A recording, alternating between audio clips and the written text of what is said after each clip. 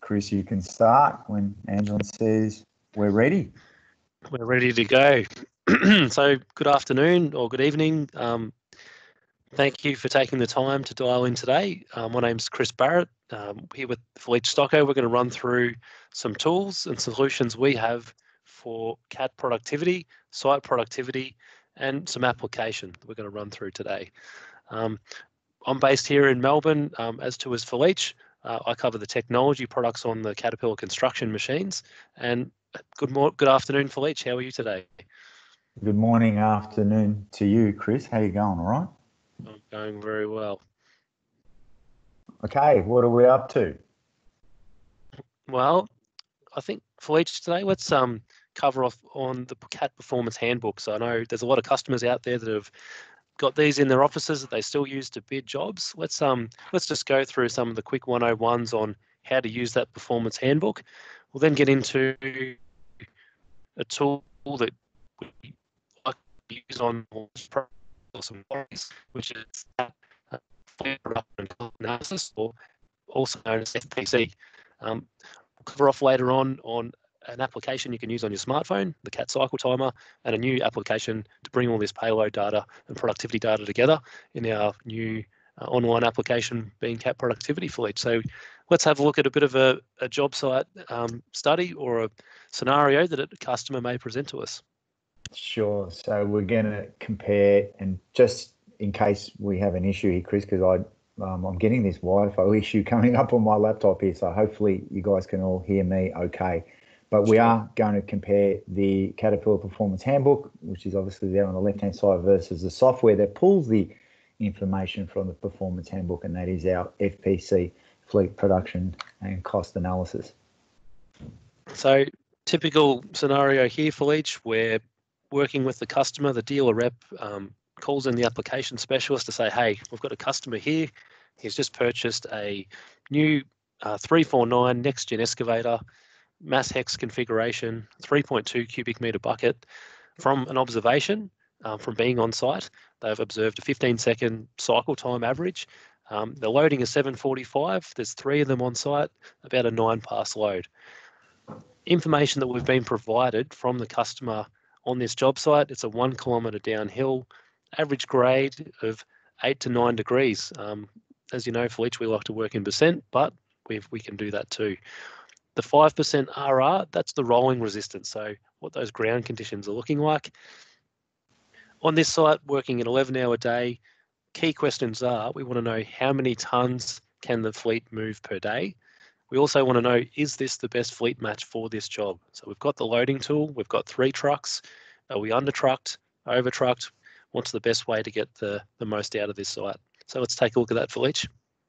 Sure. So effectively, this is the sort of information that's given to us uh, or the dealer via the customer. And there's some information here that's good, but there's obviously a lot more information that we need. But if we're only given the basics, we've got to start with the basics, and that's going to the performance handbook.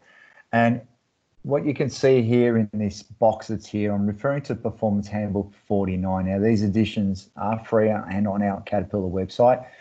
Um, and that does refer each. You can see here that I'm referring to each specific page number where I'm pulling information from. Now these, the performance handbook are, it's a unique book. Um, it's actually now digital, so it's no longer a hard copy, but you can just about get anything you want for productivity and cycle time measurement uh, for most products in the performance handbook. So the first thing we're going to do is we're going to look at our 349 ton excavator uh, with the 3.2 cubic meter bucket and using the information the customer provided, which is 15 second average cycle time listed here. So we've gone to page 579 where we're estimating production for excavators.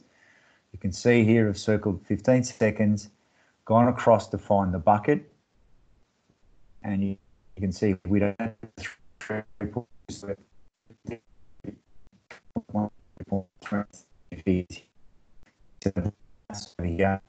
have to adding that uh, onto this number here, which is 744, which is the lowest number.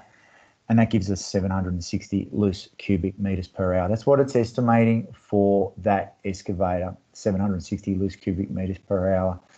Now, to get that into tons, because the customer has recommended tons, we need to know the density of the material. So the customer has provided the density for this mix of clay and stone, which is at 1,500 or 1.5.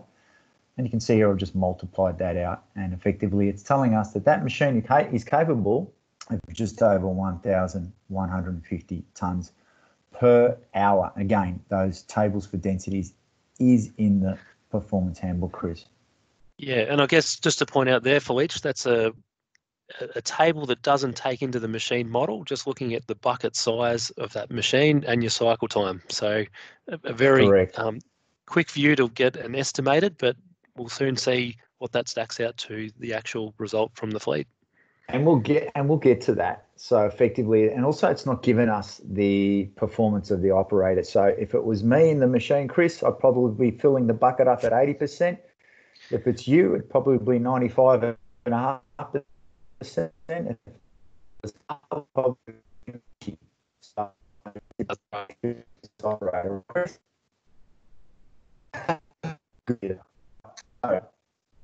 Okay, now we're going to the performance handbook calculations here to get our minus 8 to 9 degrees to percentage.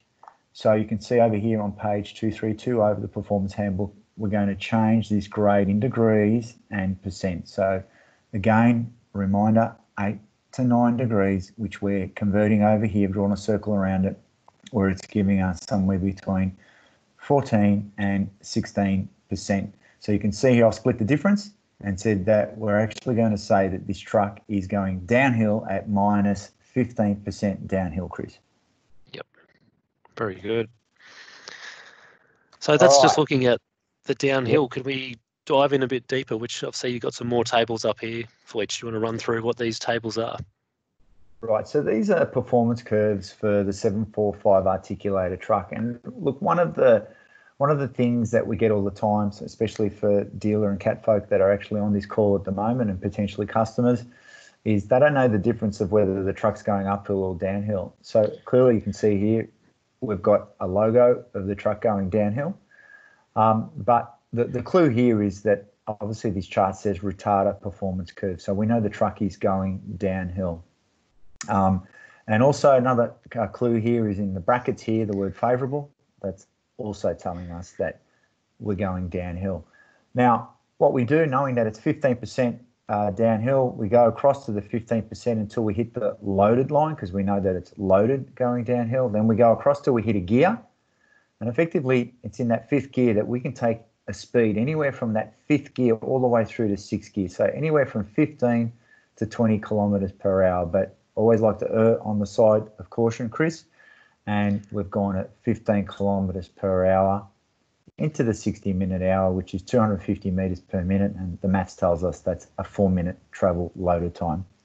Very good.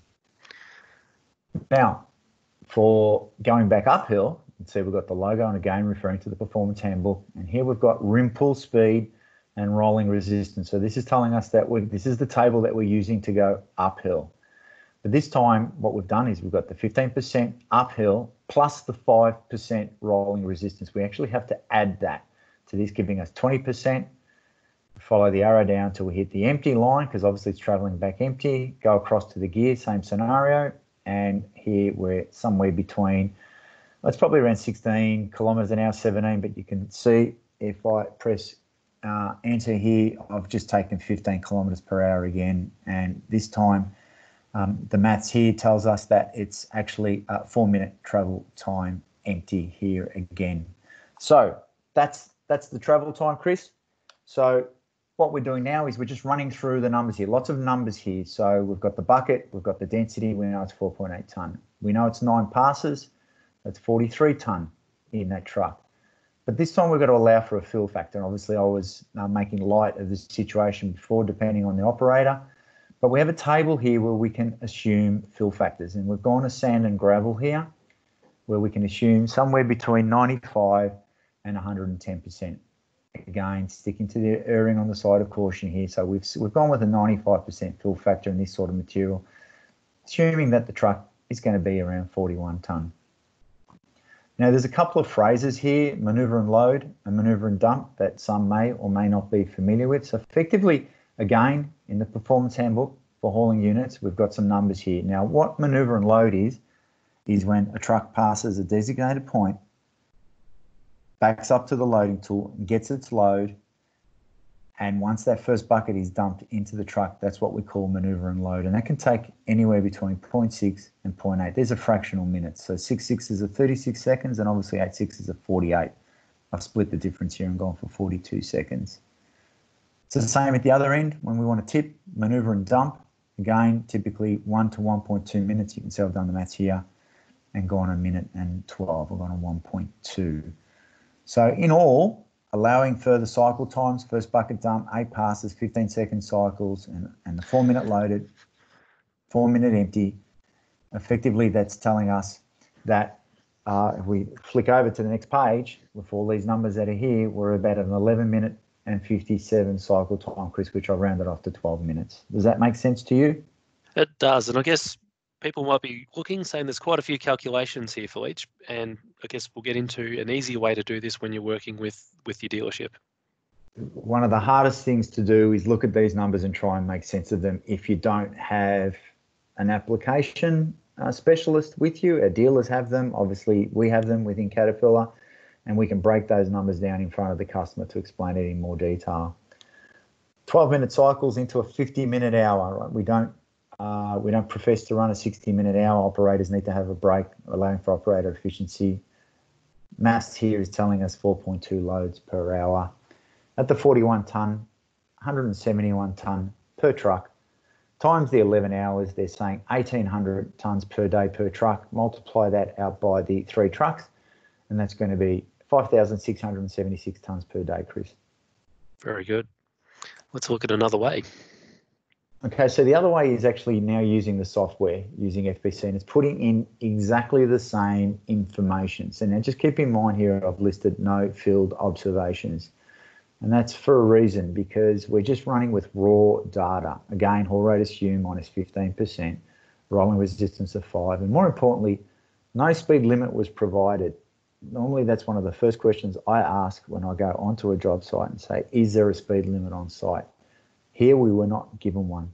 Now, just going to flick through. These are tables that are in the FPC software, Chris. You can see here we've got our haul exchange time of 42 seconds, a three second first bucket dump, nine passes, 15 seconds per cycle as suggested by the customer, 95% fill factor. So we're putting all the numbers that was given to us by the customer and some that we estimated ourselves using the performance handbook. You can see the hauling here, Chris, is two minutes and 28 seconds. Now that's obviously a lot faster than what the performance handbook has suggested. And there's a very good reason for that is it's because we have no speed limit. So the software thinks that it can go as fast as it wants to take that load down to its dump area and back again. Very good. And just to point out, Fletch with this software, the items in white there that you have highlighted, they're the ones you can edit based off observations or custom information to make this tool work. Correct. So as I go through this, uh, I just want to show here that uh, the software has told us that we can go at 9 minutes and 52 seconds to do this, even though the performance handbook has said 11 minutes and 57 seconds. Now, if I was on the job site and we were taking cycle time measurement, and we knew we were getting eight minutes, well, we would adjust these numbers until this was reading eight minutes because I want to be in a position where I'm showing the customer valid data that I've taken on his site. But we don't have that. So we just got to allow the software to assume that. So yes, anything that's white is changeable. Right, you can see a little bit of difference there, Chris.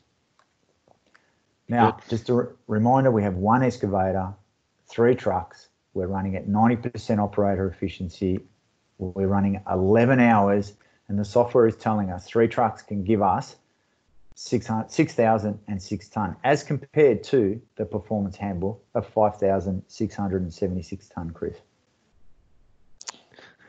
Interesting. Okay, so what we're going to do now is I'm going to escape out of this and I'm going to go to my Google Earth image that just let me know once that's up on the screen there, Chris. I can see that. I can see Australia and New Zealand looking right at us.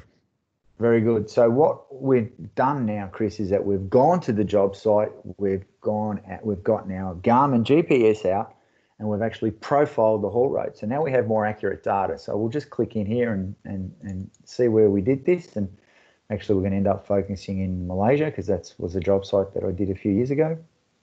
And you can see when you see this haul road, you can actually see that it's a lot different to what was originally to what was originally described. So we'll just flick this off again here. So you can see here, this is the loading point and this is the dumping point. So what's happened what's happened here is that uh, that's obviously after going through and seeing this information, there's lots of switchbacks here. Uh, one of the things that that was accurate, Chris, was that it was actually one kilometre, so that was fine, as given to me by the dealer and the customer. But as you'll see as I go back to the PowerPoint, that there are some significant changes. So I'll just go back to the PowerPoint now. And, and we were told, Felice, that we had a, a 15% grade. So it will be interesting to see from the analysis using the GPS to map that road what we what we got here. Correct. So what we have here is the one kilometre haul road was okay. Um, you can see the grades varied from minus one to minus 20% downhill. So there was there was a big difference, not the 15. So it averages out to minus one or minus 20. Now, we said the customer told us it was 11 hour total hours, but when we are on site and we spoke to the customer, that number actually came back to 10 because we had to allow for startup and shutdown. So there was one hour difference there. So after extensive cycle time measurement on site using the CAT cycle timer that I know you're going to allude to later on in the presentation, the 15 second cycles actually came back to 13. So the person that gave us the data was doing the operators a disservice because, or an injustice, because they were actually faster, a lot faster than the 15. So I would consider that to be quite a confident operator at 13 second cycles. Haul road observations, I agreed with the 5% rolling resistance. However, uh, the software didn't allow for bunching, but we have now included. Now, bunching is basically an efficiency factor. When two trucks pass each other, it's human instinct that they slow down. It's human instinct that they may even stop and talk to each other. That's what we call bunching. No matter what supervisors do on site, bunching will always occur. And lastly, Chris, we were able to identify with the customer that there is a speed limit on site of 20 kilometres an hour, and that's both loaded and empty. Big difference to add into the tool. Correct. Now, just running through the same table with the new information in. So, haul exchange time remains the same, as does first bucket dump, as does nine passes, but 13 second cycles, Chris, as opposed to 15. So, that's going to make a little bit of difference there. It's going to be faster. 95% fill factor remains the same. Now, given that we've allowed for 20 kilometre speed limit, you can see FPC with no speed limit, 2 minutes 28. FPC with the 20 kilometre speed limit, it's gone, it's slowed up by over 30 seconds. Dumper maneuver remains the same. The return time, not that much difference, right? Given the fact, allowing for the fact that this is empty here. And total cycle time, you can see difference between the three options there. This is the one that I would be hanging my hat on, 10 minutes 52, and you can see some different numbers here as compared to the performance handbook and FPC. Now, going to our table, one excavator, three trucks, 90% operator efficiency. This time 10 hours, not 11. This time it's 10 hours. Assuming the three trucks, this time we're just under 5,000 tonne. Now, if you compare that to the two previous options, you can see that we are significant, significantly less than what was originally uh, prescribed or estimate it for the customer. You can see the benefits of actually having been able to go onto the job site, Chris, and check real life data to get real life numbers. And, and on that, Felice, there's a couple of ways we can get that haul road information. So you used a, a handheld GPS. You could That's use right. a rover. You could use an actual design of the haul road. You could even use a drone or a UAV that surveyed that site for a, a volume um, estimate on that site. So many ways to get that haul road information in, and it really, really highlights how important that is. And I, I can also share with you and others on the phone that we can actually use Google that Google Earth image. I can actually um, speak to the customer. He can take me to his job site, and uh, we can run a meeting, and he can actually um, show me where the haul road is, and I can actually profile it through Google Earth and get a very accurate. Actually, I won't be able to do inclination, but I'll certainly be able to get distance. So there's, there's another option there. All right, now one of the benefits of FPC is that we have this tool called efficiency, and what that does, it basically tells us how many trucks this excavator can handle. And what we're looking for is this table here for the number closest to one. Anything less than one, it needs more trucks. Anything over one, you're going to over truck it and there's going to be a heap of waiting time. So you can see here that four is an optimum truck number. Now, knowing that the customer is only allowed for three because that's what he has. But if we flick over to the next table, you'll see that four trucks will actually give us an extra 1,000 tonne. Now, remember, we're at 4,958 before. Now we're at 6,144, Chris. So we actually now have an option to go to the customer and say, look, I know you've only got three, but if you do run four, you can actually up that production by over a thousand tonne per day, per 10 hour day. And be more efficient in that operation too. So your overall cost per tonne will come down adding in that other truck. Correct. And this is your favourite chart, Chris. It, it is. And I think to that point, a lot of people like to add more trucks or, you know, the bigger the fleet, the better. This is a really good way to visualize what that efficiency is. So you can see where Felice pointed out truck number four, we can add more trucks, but your overall output is not going to increase. So that bunching term that Felice mentioned earlier, that's going to dramatically increase. Um, trucks will bunch up, a lot more idle time, paying operators to sit in a truck that's not moving material this is a good way to represent and say, let's stick with three or let's up that to four. Excellent. So in summary, Chris, you can see hardly any data or basic data from the customer gives us just over five and a half thousand tonne. Putting that basic data into FPC with no site observations, we're just over 6,000 tonne. Using the site observations with three trucks, we're now back under 5,000 tonne. This is what I'm a lot more confident to present to the customer. But we can also tell the customer that if you did want to go with the fourth truck, whether it be a purchase or whether it be a rental, you will increase production by over a thousand. So that would be 6,100 tons per day. So that's the summary, Chris. Oh, very good. Now we're over to you. Okay, so I guess some of the tools that Fletcher's used, in particular the CAT cycle timer, we're just going to run through what that application is and the information it gives you. The other one is how do you know what that product productivity is on the machine? You might have a new machine and you're wanting to do a study or wanting to know what you're currently getting. That onboard payload system helps the operators be productive, but also if you're wanting to get that estimation or how many tons you're moving, good way to do it in the cab. But for which we've just launched a new tool, CAT Productivity, to bring that data back in, whether it's a, a tablet, a smartphone, or on your laptop a nice way to sort of track all that site information. So we'll run through that one in a live demo. Okay, so this one here, this is on the app on the App Store. So if you've got a Android phone or an Apple phone, you can download this app, no cost. Um, this is what we use when we visit sites. So Fletch would use this to get the inputs to put in that FP study study that we just went through. This is really good whether you're doing trenching with an excavator, uh, looking the productivity of a, of a tractor, a scraper, loading or hauling unit.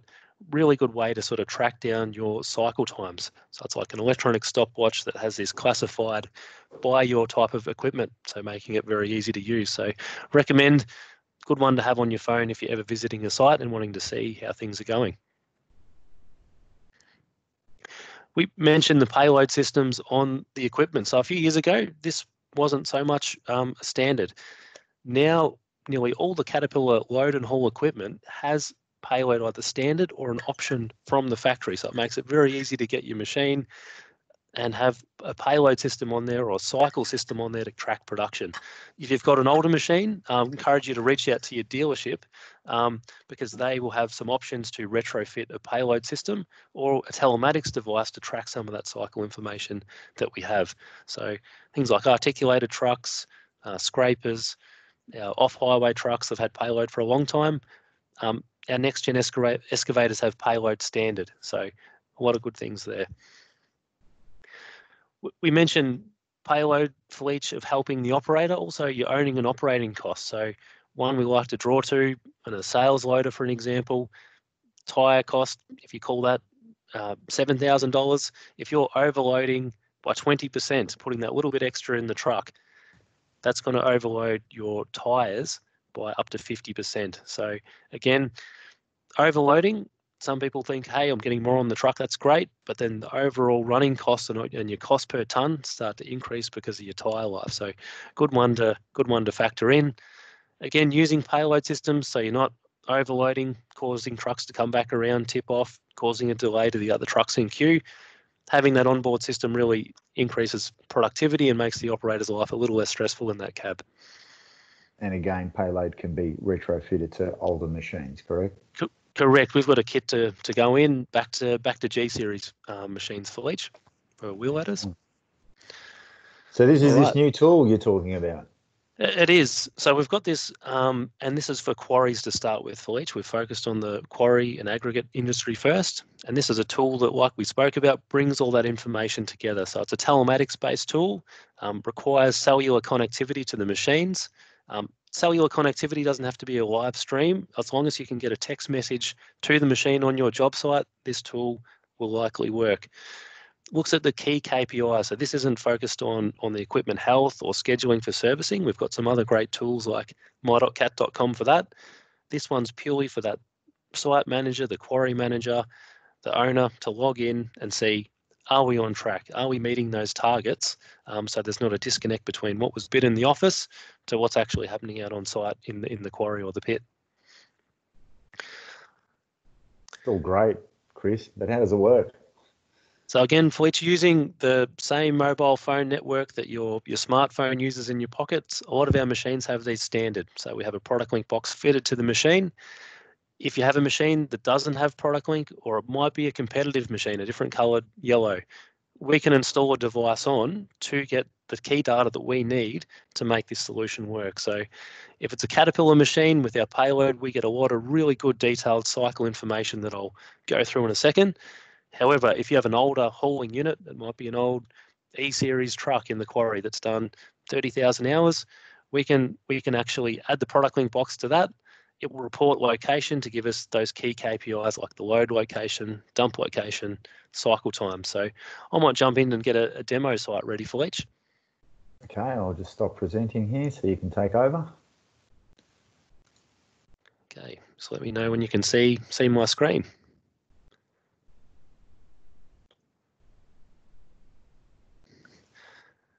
Can you see the screen in your own flash? No. No, something's just come. We're good. You're good to go, Chris. Just a minute. Yep, okay, just minimize the. Yep. So this this application here is cat productivity, and even if you don't have access today or you want to find out some more information, if you just go to Google, put in catproductivity.cat.com, that'll take you to a landing page where there's some videos, a brochure, um, some testimonials and some use cases on what this tool will do. So what I've landed on here Fletch is, is an internal um, job site that we have at Caterpillar here. We've got a view of different job sites set up around the world. So we're going to look at our um, cat productivity demo site, which is in our proving ground in Peoria. So we're going to have a look at some of the machines there. So just by clicking in, that'll take me to that job site when I first log in, by default, it looks at the last seven days of operation and it looks at my load counts. So you can quickly hover over here without clicking or making any adjustments of how many loads you've done per day. So we can see yesterday um, we had two haulers running, total load count 57. Day before, two, 27. So simple KPIs are there. How we drive this tool Fletch, we've got a production tab and a utilization tab to look at idle and working. So we're going to spend some time on the production side today. We can either look at the load count. If the machines are fitted with payload, we can look at the payload that those trucks report. Again, these trucks are older trucks. They don't have the payload, but we've got a loading unit, a 992 in this case, that does. So we can see how many tons that we've done on this site. So if we wanted to look at yesterday, we can see that this wheel loader was producing 700 tonnes per hour. His cycle time, 46 seconds. Payload per cycle, 20 tonnes. So total payload for that day or that shift, um, 6,354. Wow, busy day. Busy day. So they were quite busy on the on this day Fletch. if we had multiple loading tools on the one site, it would show that. So we've seen we've got the wheel loader here, and if we scroll down, we can see we've got an excavator that didn't run because we don't have its production numbers. On this map here, for which we spoke about uh, drones and survey images, we can actually upload a surveyed image or a image from a drone to make this more realistic for the job site. You can see I've got these dump locations here, which is this dark blue with this 118. If I click on that, that'll actually give me my individual dumps of where that machine was working. So you can see at the proving ground, we've got a bit of a face there. If I click on these, you can see at 10.21 a.m., this wheel loader picked up 20.72 tonnes. Cycle time was 41 seconds. So all this information is recorded as the machine's working with zero operator input. So that makes it easy. We're not asking the operators to do any more than just operate the machine best practice as they always do, and the machine provides this information. Now I'm assuming that where you're hovering over, they're all the same color. Is that because they're designated that spot to be that color? So to the left or to the right of that? Correct for each. So mm-hmm. if I zoom out, um, that's looking at one face. If I go back and look at the the hauling unit, so we've got some triple seven trucks here that were being loaded. You can see these lighter color blue, that's the load, and the dark is the dump. So we can see we're loading over where that wheel loader was, and we've done some dumps in this zone um, that we can have there. You'll also notice for each of these different coloured areas, we can draw geofences. So if we had a crusher or we had a surge pile that we wanted to keep track of production being dumped into, we can quickly and easily draw a geofence and sort of track what has gone in that other load zone we can name that and do some simple reporting.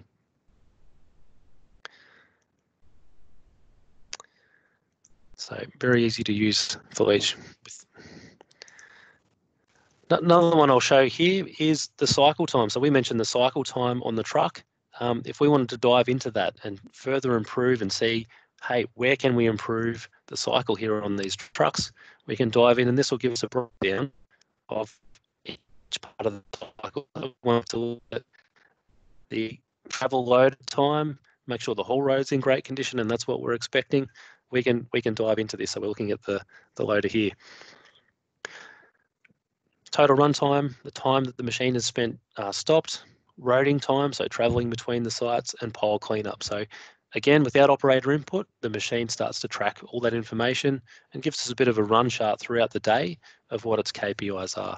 So a handy way to get that information without um, interacting with the operator. On the utilisation side for each, like a lot of telematics applications, we get an idle versus working. We've defined that a little bit different in this case by having a long idle, a medium idle, and a short one. So long is anything over nine minutes, medium six to nine, and short three to six. So rather than just saying, hey, the machine's idled 25% today, we can actually hone in and see where that might be. So again, if I click on that little tab there, I can zoom in and again, it'll give me the time of the day, 11.28. This machine sat there for 32 minutes. So sounds to me, Felici could have uh, gone to lunch, left the machine running to keep the cab warm. That's good for the operator, but hey, at the end of the day, that's a lot of fuel that was wasted, machine hours accumulating um, just for having a warm cab. And I think the important thing there is to note that there is an opportunity for improvement right there with that particular yes. truck. So we'd want to be asking that operator what happened and give them the benefit of the doubt, but obviously an area to improve. Correct. There's other parts we can do in here for each. We can replay and have a download of every single cycle if we really want to get into the detail. That's something that we might use and the dealers might use to get the most out of the site. We've all go, also got a part of this application which will replay a cycle. So if we wanted to look at a certain time of the day, whether there was an incident, whether we wanted to see the haul road route or the location the wheel loader was working in, we can actually open in and this will replay um, the machine and how it was working on the site. So if I zoom in here, You'll see the excavator. I chose the excavator in this case. Um, you can see where he was working, what other assets were interacting with that machine at that point in time. Fantastic. So, Excellent. so, and what if, what if, like, how would how would someone get started with this, Chris? What what what would be the way that, like, say, there's a I can see we've got a customer online at the moment. What what how would they, if they're interested in this, what would their next step be? Um, best step would be reach out to their local cat dealer rep. Um, within the dealerships, there's technology specialists that have been trained and have been uh, using this solution for some time now. They could reach out to those. We've actually got a program we work with the dealers to give customers um, a try of this solution. So dealers have the details on that. But if anyone's wanting to try this, please reach out to your dealer um, and take that next step. And we're happy to um, see you using this application in the future.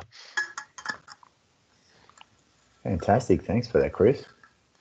You got anything else to show us there? Because I can see that we don't have any questions. So if we, here's an opportunity if you have some questions to just to just take, um, I type them down the bottom and we can try and address them as best we can. Maybe show us something else, Chris, before we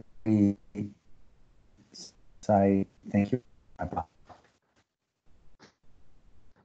So, yeah, so this supports all uh, loading types, whether it's a, an excavator, a large wheel loader, uh, our scrapers, all that information reports in. We're looking to add further models. Obviously, the trucks we uh, support. Again, if your machine doesn't have payload or it doesn't have a um, onboard cycle counting system, just by feeding the product link device on with cellular coverage, we can get some good KPIs to help improve um, job site efficiency. Excellent. Thank you. Just checking to see if we've got any questions there, Chris. Doesn't look like we have any questions in there, mate. You got anything else for us? Otherwise, we might just say thank you and close this one down. Yeah, I think um, I thank everyone's time. And if there's any further questions, please reach out to your Caterpillar dealership and they'll put you in the right direction of getting some further information. Um, but again, thanks for your time this afternoon, Felice.